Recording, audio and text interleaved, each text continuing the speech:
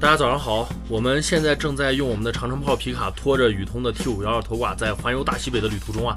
现在我们在青海的金银滩草原，昨天驻车在这里啊，然后今天早上一起来带大家看一下，窗外全是牦牛，旁边这儿多了一个小电驴，应该是当地这个牧民的放牛的牧民的一个小电驴啊骑过来的，然后我带大家看一下。整个车外面全都是牦牛，大的、小的，各种各样的。早上就被牛叫声叫醒了，哞！看这个小牛，拱着拱着往母牛的肚子底下拱。看着外面的牦牛，我们简单的吃个饭，大花馍、牛奶、辣子酱，吃点我们就出发。那我们今天的计划是离开这个金银滩草原，前往黄鱼洄游的这个观赏地啊。这个季节刚好也是黄鱼洄游的季节，也是青海湖非常值得一看的一大奇观。但是黄鱼洄游其实有三条河是主要的一个洄游地啊，有的地方可能已经建成景区了，因为之前我们也没去过。今天带大家去探索一下，可能会经过一到两个黄鱼洄游的地方，我们去看一下这个黄鱼洄游是什么样的。然后今天就即将从金银滩草原到达了这个。呃，青海湖畔了啊！请确认钥匙是否在车内。请确认钥匙是否在车内。车已经挂好了，我们现在就准备出发了。我们要去的第一个看黄鱼洄游的点是在钢察县，是在钢察县内啊，应该是什么河？沙柳河应该是。我们去这儿看看好不好停车，好不好看这个黄鱼洄游啊？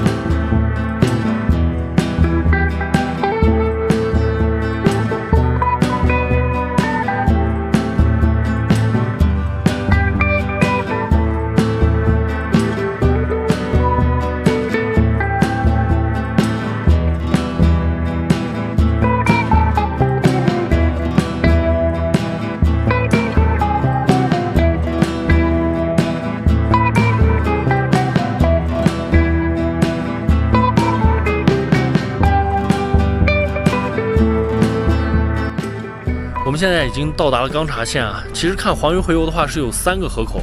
钢察县这个观鱼点，它是沙柳河的河口，还有一个是全吉河的河口，还有一个是布哈河的河口啊。那两个河口还在西边，但是我估计那两个河口人可能会比这儿稍微少一点。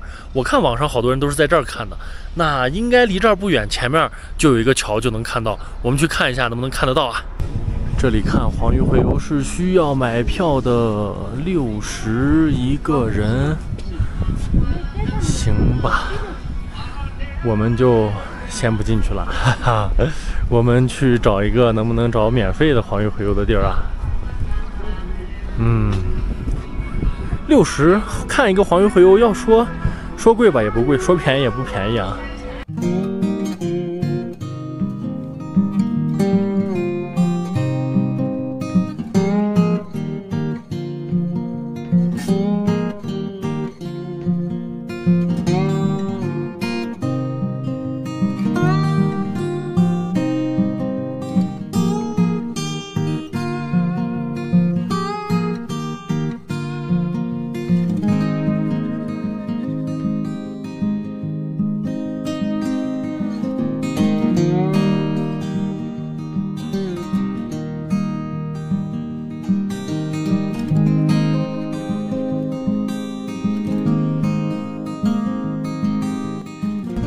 刚才用无人机大概飞了一下，感觉这整个的沙柳河上面没有觅到这个黄鱼的踪迹啊，飞得很低，然后竖直冲下看这个河里面没有看到啊，是季节应该是对的啊，现在是七月的中下旬，二十号左右，所以嗯，这个六十块钱幸亏没掏了钱进去，什么都看不到啊，好像说有什么小黄鱼的什么这个放生体验呀什么的，但是。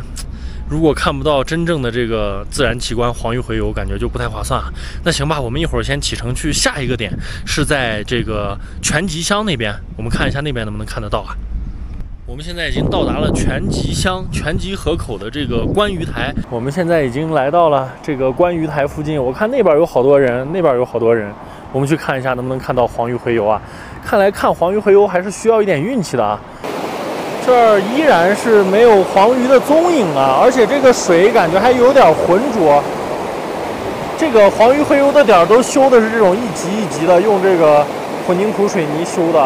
哇，大家看这个，这个里边有鱼啊，这里边有鱼，黄鱼，黄鱼，好多好多。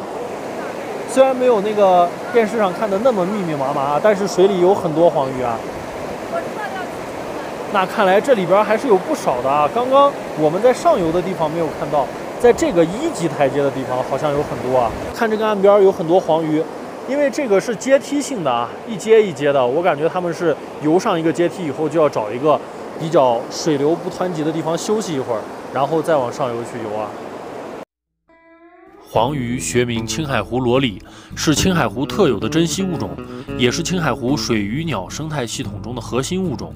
由于上世纪五十年代末六十年代初的过度捕捞，以及气候变化导致生存环境恶化等原因，黄鱼种群数量锐减，一度濒临灭绝。它们的由来和著名的黄河鲤鱼有关。大约距今二十万到二百万年前，青海湖在形成初期是外流淡水湖，与黄河水系相通，因此黄鱼和黄河鲤鱼有着相同的祖先。后来因为地质运动，青海湖与黄河水系阻断，并且逐渐由淡水湖变成咸水湖。湖中的鱼经过长期的演化，逐渐成为生活在青海湖中的大型高原原始鱼类黄鱼。在漫长的演化过程中，黄鱼逐渐适应了高寒，耐受了盐碱，褪去了鳞片，裸鲤之名也因此而得。每年六到九月，黄鱼会洄游到注入青海湖的淡水河中产卵，这就是黄鱼洄游现象。它们成群结队逆流而行，短则数十公里，长则上百公里，穿越海拔落差高达数十米乃至上百米的河道，去完成生命延续的使命。在溯河而上的过程中，在水流的刺激下，黄鱼的性腺逐渐发育，并且寻找水浅、水流缓而平稳、透明度高、地质为细沙的产卵场所。黄鱼洄游也被当地人认为是一种不畏艰险、锲而不舍、勇于拼搏的精神。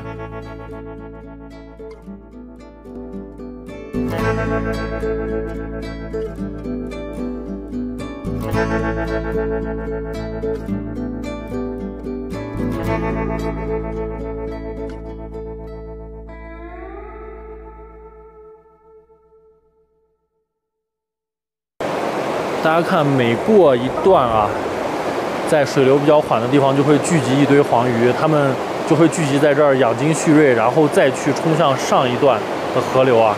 然后我们可以看一下这一段下来以后，这儿又有一群，哇，非常多，密密麻麻的。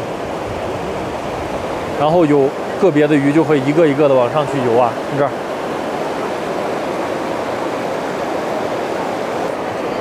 我们在这儿能看到，有的鱼游上去了，但是时不时的就会被湍急的河水再冲下来啊。但是它们也是没有放弃，一次一次的在往上冲，最后很多鱼可能就。力竭了，他们就可能把命就丢在这儿了。但是，这整个种群的繁衍，就是需要黄鱼洄游这么一个过程、一个现象。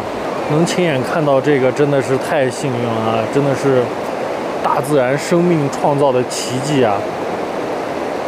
我们现在已经从上面来到了这个最低一级的阶梯，大家看这个位置聚集了好多好多的黄鱼啊，它们都聚集在这儿，然后伺机而动。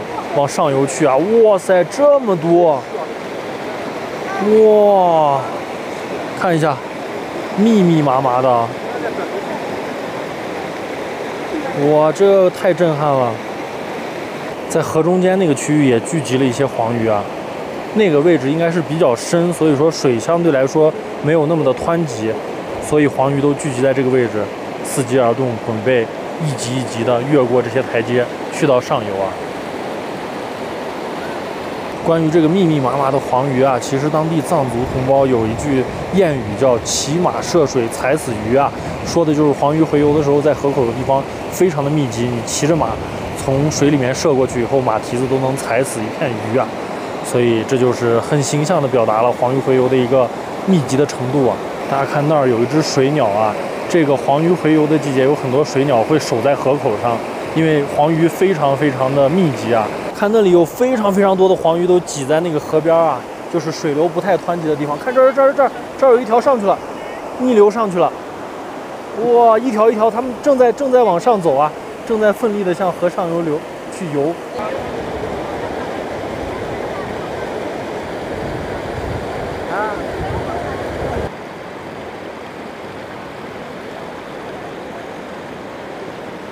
能在拳击乡这儿看着这个黄鱼洄游，真的是非常非常幸运啊！然后我推荐大家，如果要看黄鱼洄游的话，就不要去钢察县城里面的那个了，呃，那个反正我们今天去是第一没看见，第二的话要六十块钱门票，这边是免费的，而且这边我们今天看见了好多的黄鱼啊，非常非常值得啊！那我们今天先出发去找我们今天晚上的露营地吧。